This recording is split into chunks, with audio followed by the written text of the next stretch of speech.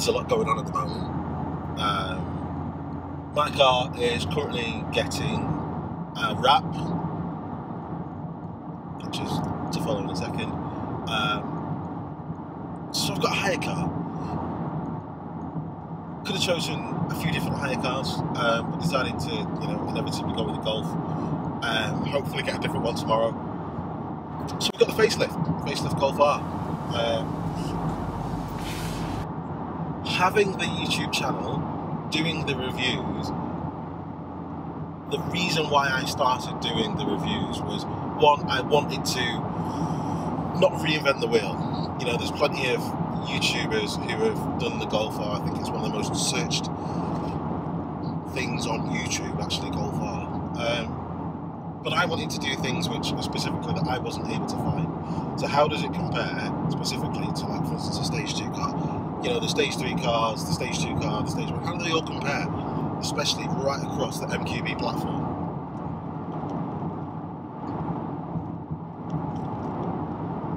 It's really surprising, really surprising how much of a good car this is compared to the Mark 7. The Mark 7 is a fantastic car. I, have got a Mark 7. I love the Mark 7R. It's a great car. But this this just raises the bar just a little bit. Arguably, arguably, this in its standard form, with its 18-inch alloys, you know, without the you know the leather seats and you know all the gubbins that go with it, such as the pan roof and the reversing camera, etc., etc. I don't think there's a reason to tune this car. Did I say that out loud? It's such a capable and competent car, and that's against the Mark 7. So this is a 7.5 or facelift Mark 7. It's a much better car than the Mark 7.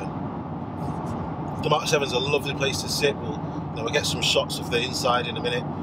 You know, the Mark 7 is a lovely place to sit, but the Mark 7 just elevates it a little bit. This digital dash, love it. The plastic bits that have been removed from around the, the centre console, love it. The gearbox, wow.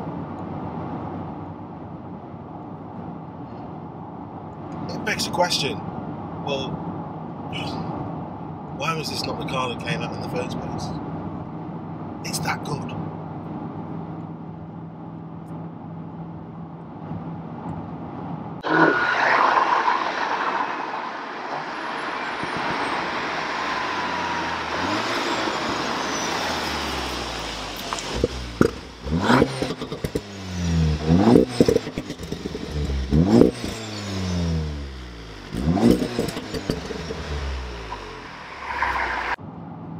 Other than that, what do we have? Well, it's same old, same old. You know, the steering, the steering's fantastic. You know, I don't go into the cubbyhole business. I, you know, there's, there's, there's Carwow that does all of that stuff. Um, but in terms of driver feel, well, it's pretty similar. Pretty similar to a Mark 7 in regards to how it handles the bumps. Interestingly, though, very, very interestingly, I've always been sort of, you know, big alloys, big brake discs kind of guy. You know, everybody's life depend, you know, molds them in a particular way, which makes them want particular things.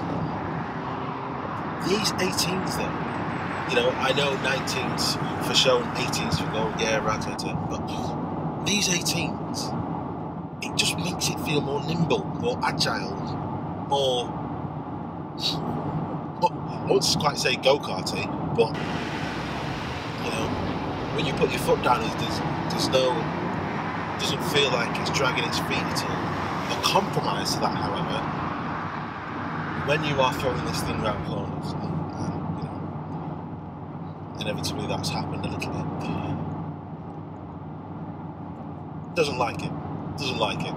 That might be a combination of, you know, not having the bigger brakes and the wider track.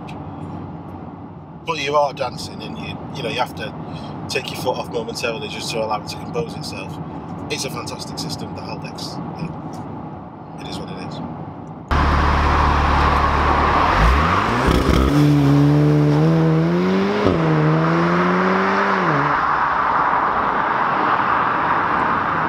Would I have one of these over a Mark 7? If I was on the market to buy a Mark 7 Golf R, I'd probably stretch that extra little bit to get a facelift.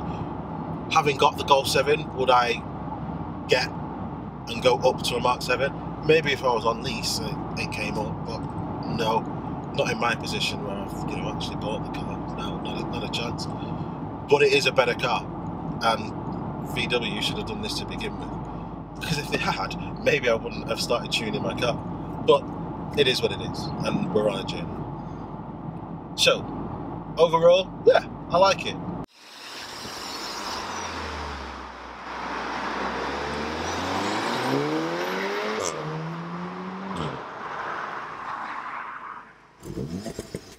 Thanks for checking the video out. If you like what you've seen, hit subscribe or leave a comment in the comment section, and I promise I will try and get back to you. Thanks very much.